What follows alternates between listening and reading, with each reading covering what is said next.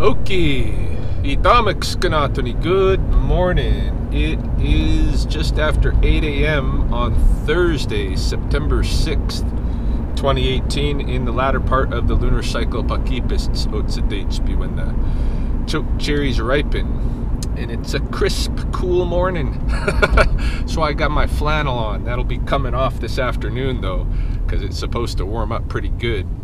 Um, I won't doubt that we'll have another another little slurry of uh, migrating snake calls. But for this morning, we've got at least one skunk. I'm headed over there now to Laval Boulevard. This was a trap that I just set up last night. I've got another trap to go set up this morning, and it's early yet. I might hear from some some other clients about some other skunks. We'll see. So yeah, that's what's that's what's kicking it off this AM.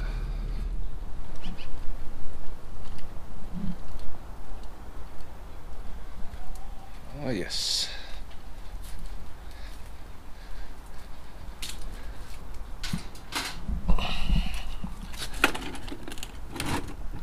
Hey there, skunkies. Oh, you got a lot of poopy in there, huh? Fun. this is one of my uh, one of the traps that I inherited from a a guy that passed away that used to run a service here in, in Lethbridge. His um, his kids gave me all his traps when he passed, and I was thinking I should make it kind of a winter project to outfit all of my traps really uh, with similar kind of waterproof cardboard sidings. Um, makes it even easier than coming along with the tarp and throwing the tarp, you know. I think the skunks are even less uh, bothered when you don't have to wave the big flag in front of them first, you know. So yeah. Hey Skunky, you ready to get out of there? Yeah, I'm sure you're ready. All right, we're gonna do this. There's a trail right here you can kind of follow right out of the trap. Um, yeah, I thought this would be a good place to come and release this skunk. It's kind of rural West Lethbridge uh, rather than the river bottom out in the country here a little bit. But I, I wanted to come out here um, really because I want to show you guys this spot because I'm thinking about releasing another animal out here. That being that tiger salamander that I picked up a week and a half or so ago. That salamander was out maybe a kilometer down the road here at the uh, Copperwood subdivision. And those tiger salamanders, like the snakes, are really connected with their natal places, right? So they shouldn't be removed from those places. They'll try to get back to them. Um, this place is pretty close to there, and I'm I'm hoping that this will be that the tiger salamander will perceive this place as being okay. Uh, this is a little moist pocket here um, where the you know obviously the agriculture has to go around it because it's just it gets too wet. And uh, but right now it's dry you know so it might be good conditions for a tiger salamander to be kind of on the outskirts of a little prairie pocket like this which was probably what they were in over there before before it was uh, destroyed for for the development of subdivisions. So hopefully if I let it go here it'll be okay. I've just been waiting for kind of a moist day because I don't know how well he can dig in uh, without some good moisture. But if we don't get that moist day pretty soon, I'm gonna have to release because it's it's getting you know that that time the amphibians and the and the reptiles are going to where they need to go for the winter.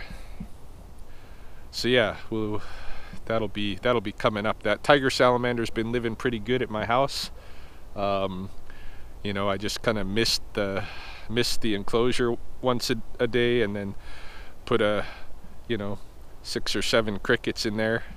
And within a short period those those things are gone. Um, yeah so he's been living pretty good. I think he'll hopefully he'll like it out here. I don't think I, I want to hang on to him retain him for the winter or anything like that. It's it's time to let him go. I just needed a little bit to kind of deliberate with myself where I wanted to do that, you know, um, so I could feel that the the chances were optimum that it it wouldn't um, spend all of its time trying to get back to its natal area that no longer exists. Let's let the skunk go.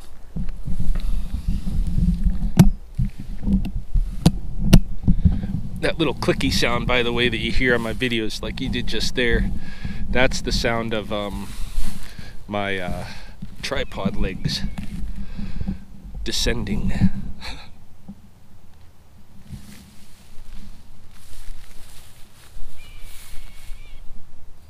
Uh oh. We got a Swainson's hawk.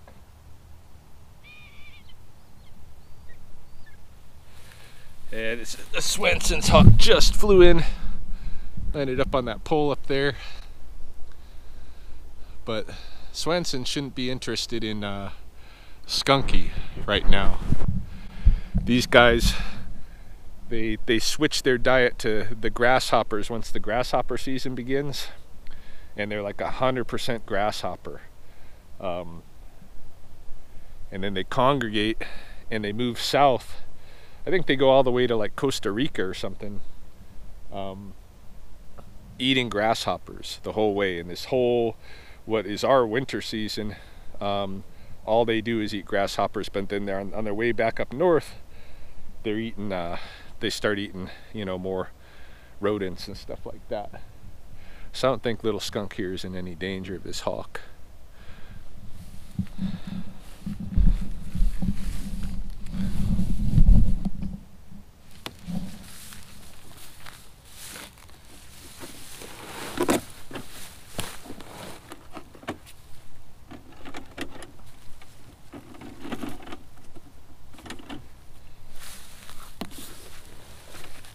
There you go, Skunky. You can go out now. There you go. Going out. Going out. Doors open. Doors open. Going out.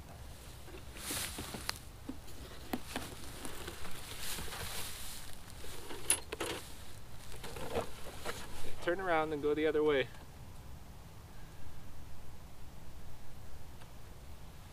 Yeah. Turn and go. You can go that way. You're free.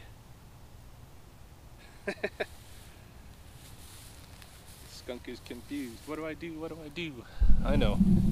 This is a pretty confusing situation, bud.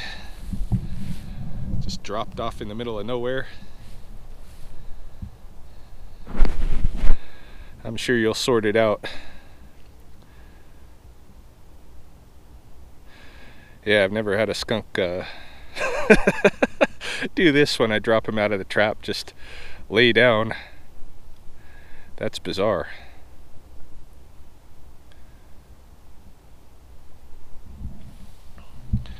You okay there? Yeah. All right, I'm not gonna hurt you.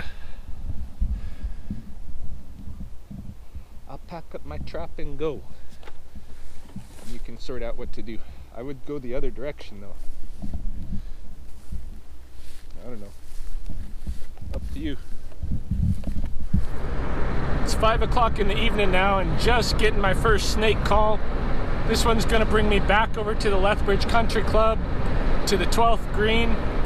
Probably, maybe the same snake that they had called about yesterday that, that I wasn't able to find over there, but we'll see when we get there. Hopefully they keep an eye on it this time. Over here. Oh yeah, this is a different one too. So where is Whole from? That's that far side over there, right? Yeah,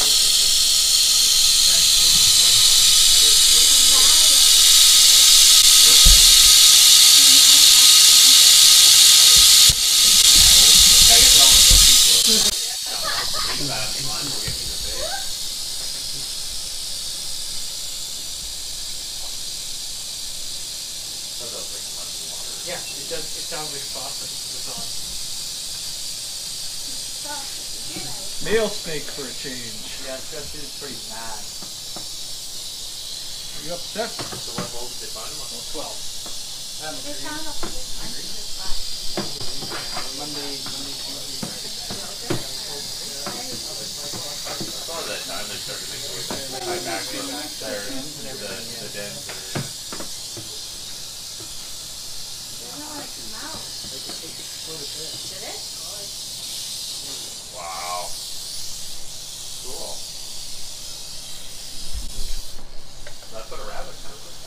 I've actually never heard one before in my life. Great. Well, we're good. Uh, Get a close look at him if you want. hey, Lisa.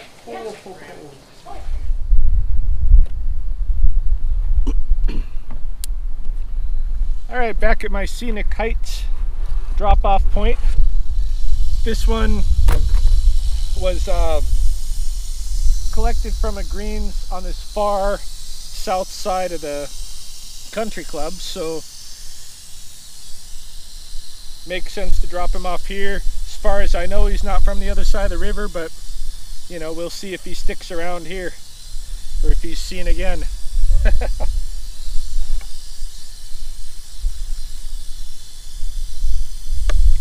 that makes for quite a few snakes this season at the Lethbridge Country Club on the south side here.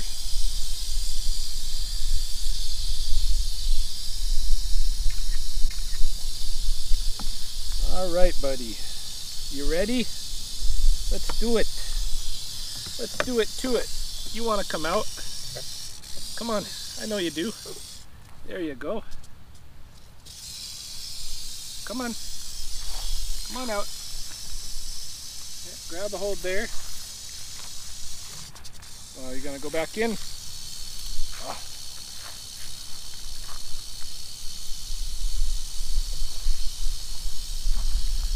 Get you lifted here.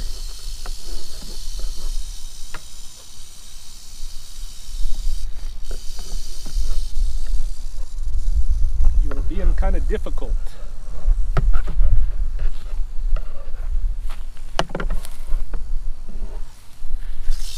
There we go. There's the bigger boy.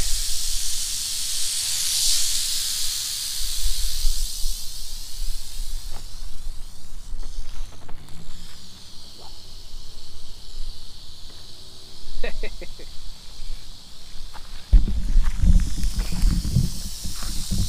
into the bush here, into the skunk brush, and hopefully find his way. Yeah, I'm surprised just just one call so far this evening, but it's been pretty hot day, so maybe as things kind of cool down here, we'll get some more. We'll see.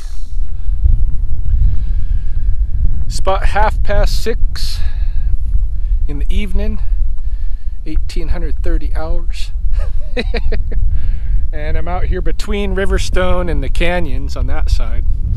Um, there was a jogger that came through here just a few minutes back and phoned in about a large rattlesnake that was just off the side of the trail, dangerously close to the this asphalt trail that I'm walking.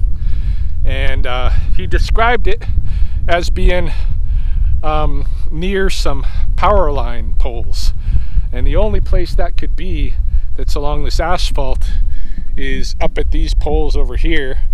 Um, I know because I've ran this trail many, many, many times and uh, so it could only be up there. But I've already walked past, haven't seen the snake, um, and really I didn't expect to. When people see the snakes, you know, on the pads or just off the pads um, in the coulee areas, it's it's often the case the snakes is just doing their thing and they're not going to stick around the path very long. It's too exposed, you know, too exposed. But um, but I gotta do the due diligence and come out and check it out. You know, I was so confident that it wouldn't be here. I actually didn't even bring my hook out of the Jeep this time. Even if I even if I come across it here, not a big deal because I can just usher it off into the into the bush without tools. No problemo. But yeah, I don't see it. I don't think we're gonna see it. So, so that's snake call number two. We'll see if there's a third. Okay, moving on to day two for this video. Friday, September 7th at 8.30 in the AM. Getting a start on this round and we're gonna do a flurry of skunks. I've got three calls so far and there's potential for more. I don't know, going into day two on this video might turn out to be a mistake because this could be a busy round and make for an awful long watch, but we'll find out.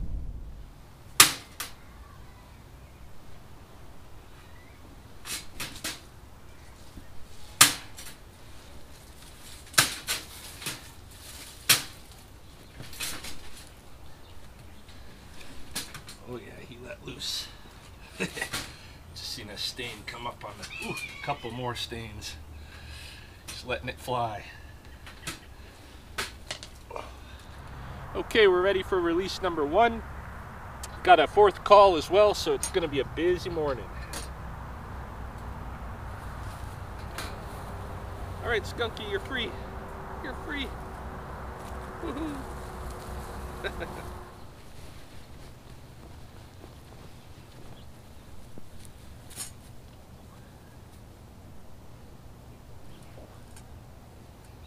Stinky. Yes, you are.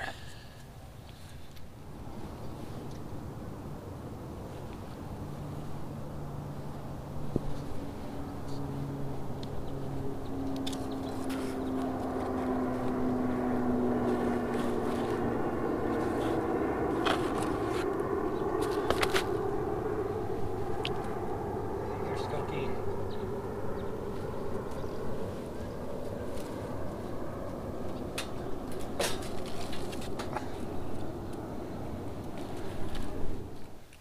All right, let's do release two and three.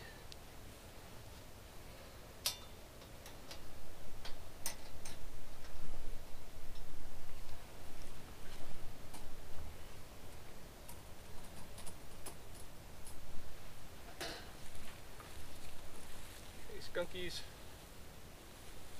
You're free. There you go. See what he did? You can do that too. Go ahead. Go ahead.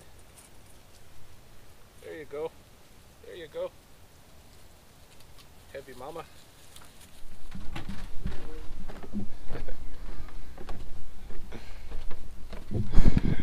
This is hilarious. My one client, remember this place? The skunks were getting under her house here. We thought we got them all, but uh, apparently not. They're back again. But she went on vacation when she came home. She found her niece had uh, left this in her house. Skunk rug. All right, Skunky. Hi, Ryan. Hey. Oh, he's got his tail up. Oh yeah. Oh boy. Oh, you're getting smart. Here we go. You got a cover. Oh, I always have. Oh, a you cover. always have? Oh. Yeah, yeah. It doesn't doesn't always keep you from getting Yeah. zapped. Look at all this. Yeah. You know. Yeah. Yeah. Oh, look at his tail. He's pissed. He is mad. It's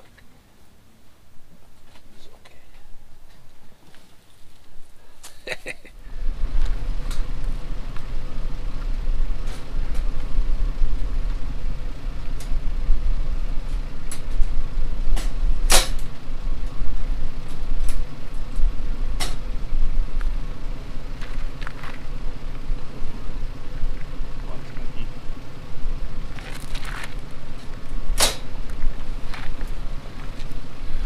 That's number four. I think we're done with skunks. It's about four o'clock in the afternoon now, and I am on badger patrol. This strip here um, that runs this pathway along University at the intersection with Columbia. Um, there was a report that came into City Hall about a badger that was digging a lot of holes beside the trail, scaring people and their dogs, charging and um, anyway, people are people are scared of the badger. So I came out here to kind of scope it out, see what the situation is, and uh, what I think we might do about it. See right in here, there's some evidence. This is badger digging, probably digging for ground squirrels because there's a whole colony of ground squirrels through here. Look, he's digging, digging, and this he's really burrowed in. So there's definitely evidence. Up here, there's some more. Check this out. This is just on the property of these uh, apartments here, but we have again what was a ground squirrel hole dug by a badger now. This is definitely a badger hole going in here. Might even be hanging out in there for how big it is. Um, and there's another hole just over here probably if I went up this way, I'd find evidence of him, you know, digging at different ground squirrel holes. So I'm thinking a secluded place to uh, to set up a trap might even be in this under this Russian olive tree. That's on the city side of the of the uh, property line here, so I won't have to ask any permission from the apartment complexes, and um, I can just set it up, you know, right in like this, right in under here where you know most people walking probably aren't going to notice, and um, yeah, I think I'll do that. I'll bait it with some sardines and uh, see if we can catch a badger. Okay, so my trap is set up here. Not too conspicuous for people going by. Looks like something's in there, but it might be a plastic bag or whatever, you know. I don't know. Hopefully, my trap doesn't walk away.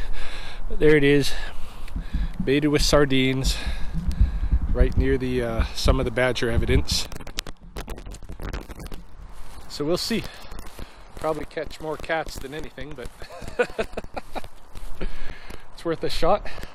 I just have to uh, stop by on all my, you know, every round that I can and monitor the trap myself. All right, it's now 5:30 in the evening, and we got a call from the Lethbridge Police um, up here at the fueling station by Highway 3 and the Highway 25 overpass. Uh, they've got a rattlesnake, so I'm gonna go pick that up for them and move it down to Bridge Drive. um, and he kind of went it went underneath there.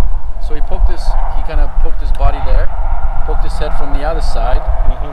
and right now I don't know where he is. I don't know if he's still underneath or. Okay.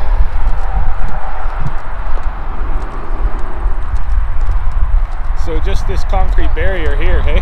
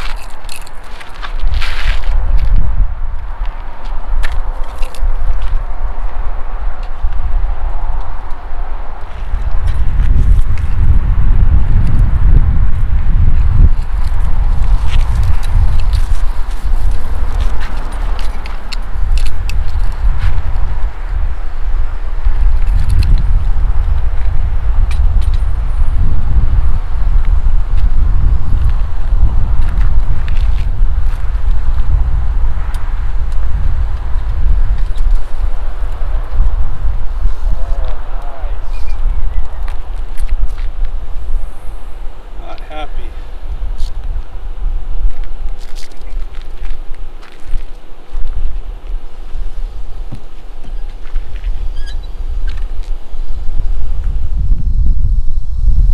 Oh, she's calmed way down now.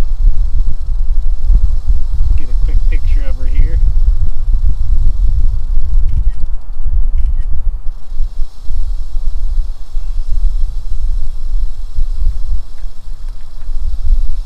Another female, I believe. Don't know if I've seen her before because I haven't caught too many of the snakes that belong to this clan out here at Bridge Drive. This is where some of the giants are. Of course, this is not one of them. Yet.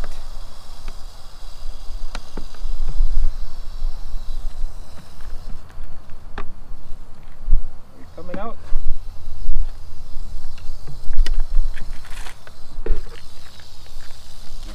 Cool.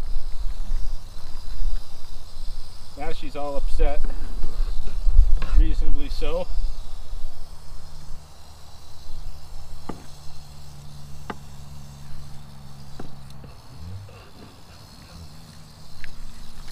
There we go. Here's the snake. Whoa, whoa, whoa. I know that's not comfortable. Wiggling the tail, trying to stay balanced. Let's let you go over here.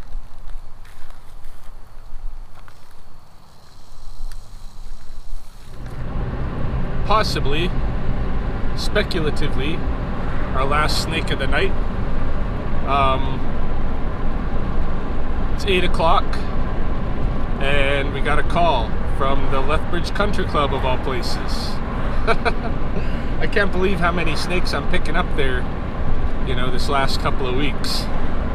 But I'm really curious to find out if this is one that we've picked up there before, because that's going to make a big impact on my decision about where to release it. So we'll see. We'll check that out. Sorry for the late call. No, it's all right. This is not too late compared to some I've got. Oh, really? Oh yeah.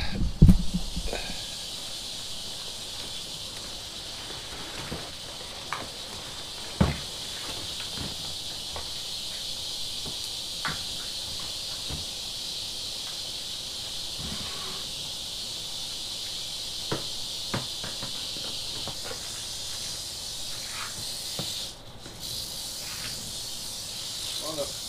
Here we go. Here we go. Nail. Let's check him out.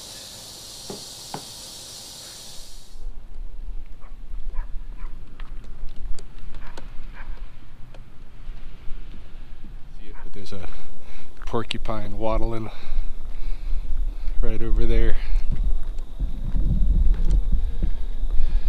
Yeah, just about to the drop off point here um, for this guy. So I don't know how much of this you're going to be able to see because it's so dark off in the distance. University's hosting a big party for uh, all the incoming students finishing their first week of studies. Now it's time to get binge drunk. Oh yeah, they're partying it up over there. Um, all right, let's just leave the snake out here. This is close to the dens and a bit away from the houses. Good enough for me. Let's see.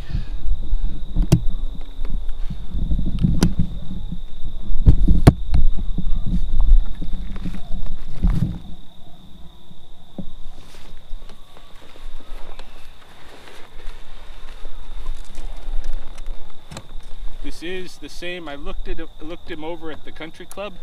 This is the same snake that we picked up yesterday that I dropped in Scenic Heights. So he's obviously trying to get across the river. I've uh, given him a boost, brought him across, and hopefully now he'll be happily home. Let me see. Oh yeah. He's buzzing in there somewhere. There he is. There he is.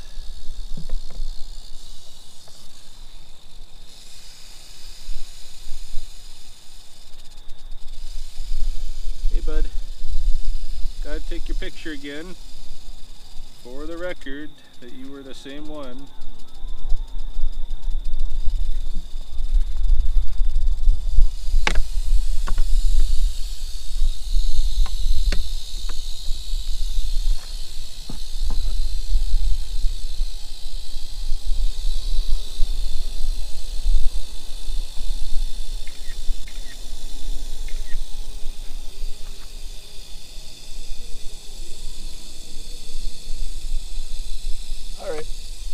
Let's out.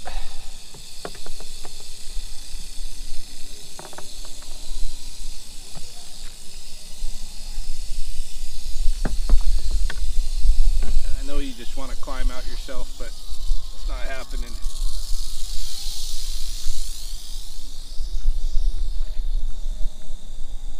Oh, believe it or not, got one more.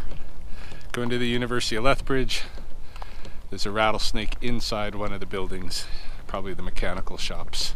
It's down at the fourth level, so one more snake. Did you need something? Yeah, you can't come down there. There's a rattlesnake right now. Yeah, you'll have to go in inside.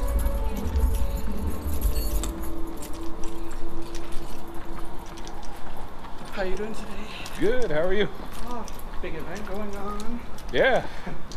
Be exciting night for you guys. Uh, not too bad so far. Yeah. Well, it's early yet. Yeah. So we have just a baby snake. It was inside and then it was able to get be coaxed out.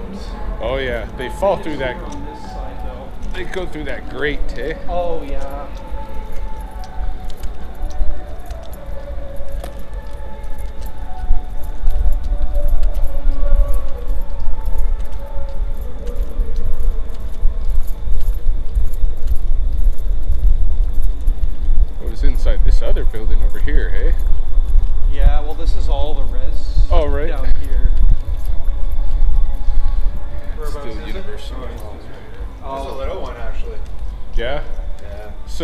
Did he start out? He started He inside, inside, here. yeah. I don't know how he got in though, because like these doors are pretty tight. Yeah, that's. I thought maybe he went in through that mechanical room, but when I see he's on this side, I said, hmm. Yeah. So I don't know. He, uh, I kind of just, I mean, it's so small, I was able to kind of open the door Right. it out. I figured it'd be easier to control, control the situation out here than inside with all the kids. Right.